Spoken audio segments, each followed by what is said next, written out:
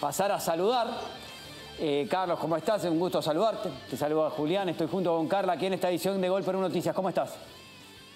¿Qué tal, Julián? ¿Qué tal, Carla? Buenas tardes. Aquí en casa, recién llegando a entrenar.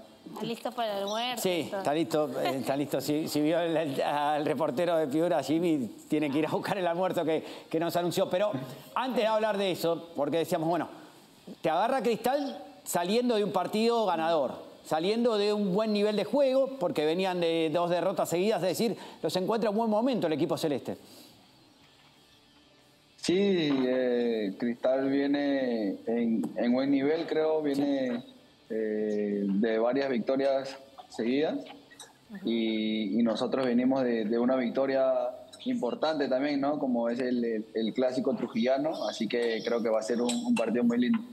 Ahora, Carlos, una- un abrazo para ti, bienvenido al programa hoy. eh, y también la consulta va por el rival que, que tendrán enfrente, Sporting Cristal, porque de hecho eh, siempre hemos visto que los partidos entre Cristal, Vallejo, son de los, de los más protagonistas, de los mejores. Vallejo siempre termina parándose muy bien y creo que en el tema defensivo por allí eh, va a ser bastante importante de cara a este partido. Sí, eh, como le decía, va a ser un partido muy lindo, de, de alto nivel, ¿no? Creo que, que Cristal, tanto como nosotros, venimos preparándonos para, para este partido y creo que desde el minuto uno los dos equipos van a salir a, a proponer y, y como tú dices, las defensas van a ser muy importantes, ¿no? Cuando uno veía la, la mejora en el juego de Vallejo, también veía más participación de los jugadores de los costados, o sea, más asistencias tuyas de, Orlando, es decir, cerca de los delanteros, tal vez no siempre es un pase filtrado de 20 metros, ¿no? Tal vez es un pase corto un metro, pero se notaba que el jugador del costado estaba cerca del delantero, que el equipo estaba más adelantado. Y más allá de decir mejoraron los jugadores de los costados, me gustaría decir mejoró el juego de Vallejo en esta parte. Sí, eh, eh, tenemos la idea clara de lo que quiere el profe, ¿no? Claro. Eh, los- lastimosamente los últimos dos partidos que jugamos, en los que perdimos, como que no se nos dieron las cosas contra, contra Grau.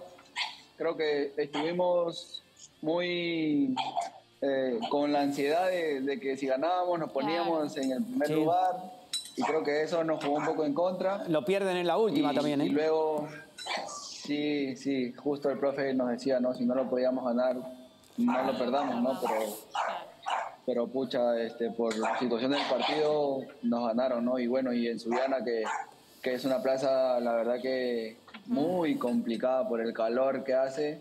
Sí. Y, y bueno, y, y lamentable el- el- el- los errores arbitrales que hubo ese partido, ¿no? Bueno, no voy a hablar de ese tema, pero imagino que habrán visto el, el partido. Pero ya ahora este, venimos con, con confianza de haber ganado el partido en el clásico. Eh, venimos, como tú dices, los jugadores de afuera también siendo un poco importantes. Sí. Eh, es lo que el profe nos pide y, y- y creo que vamos a, a ir a, a Lima a proponer nuestro juego y esperemos llevarnos los tres puntos. Bueno, mientras quedamos escuchando los sonidos de los cubiertos, espectacular, qué bueno. ¿eh? Qué provocación.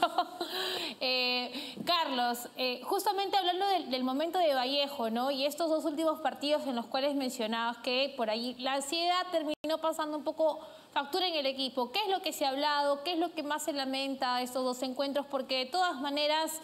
Eh, si vamos a la tabla y a los intereses que tiene hoy la Universidad César Vallejo, creo que esa posibilidad latente de volver a clasificar a una Copa Libertadores está allí.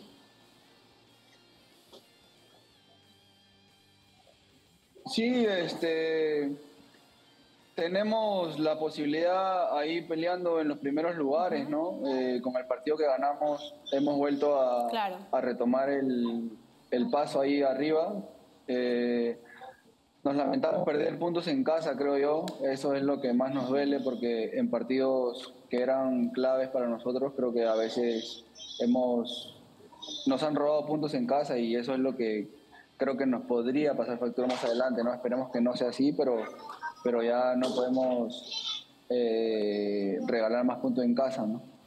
Y cuando uno piensa la manera de jugar de Cristal, porque te puede poner un extremo más, más de atacar por banda, así, de ser vertical como es Grimaldo, pero también utiliza Mosquera muchos jugadores que comienzan por un costado como Bonanotti y Sosa, pero tú sabes que no son extremos, que un punto de partida ahí se cierran, generalmente se cierran.